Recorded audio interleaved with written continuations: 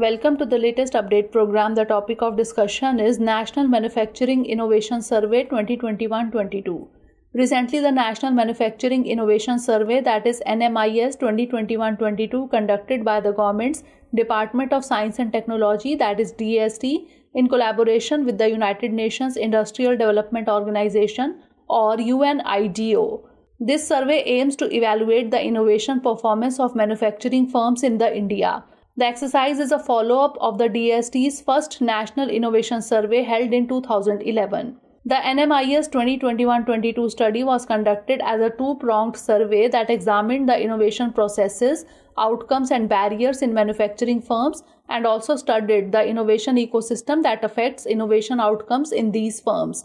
NMIS 2021-22 highlights are Karnataka is not only the most innovative in its manufacturing sector but also has the highest number of companies in manufacturing that carry out innovations. Innovation in manufacturing is the lowest in the northeastern states, excluding Assam, followed by Bihar.